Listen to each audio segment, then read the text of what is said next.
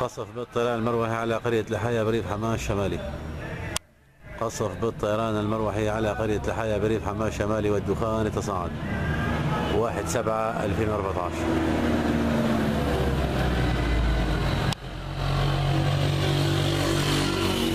قصف بالطيران المروحي على قرية لحايا بريف حماه الشمالي 1 7 2014 المكتب الإعلامي لمجلس قيادة الثورة في حماه